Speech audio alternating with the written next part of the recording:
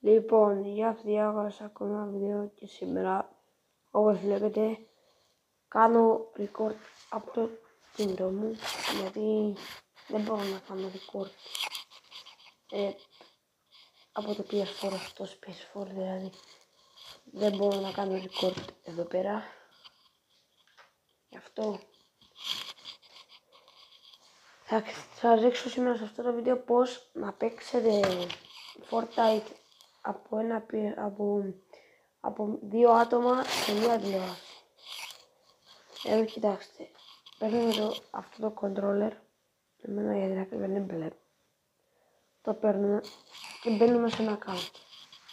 Επειδή εγώ τώρα δεν έχω δεύτερο τηλεχειριστήριο, ε, θα σας βγάλει, θα ε, πάρετε το δεύτερο χειριστήριο, θα πατήσετε αυτό το κουμπάκι εδώ.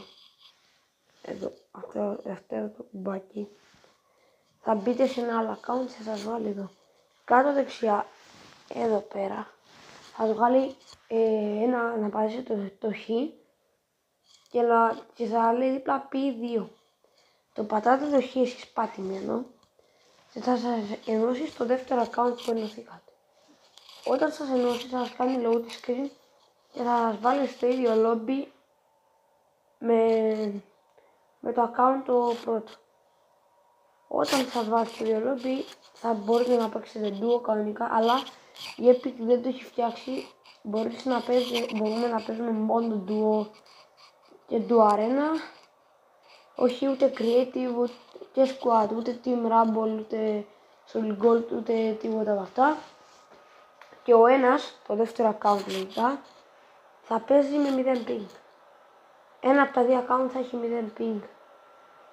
Ε, αυτό ήταν το βίντεο. Ελπίζω να σας άρεσε.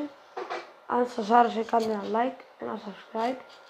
Και επίσης πείτε μου αν θέλετε να κάνω και unboxing την νέα την Την έχω εδώ από κάτω. Εδώ πέρα. Αν θέλετε να την εξηγήσω λίγο.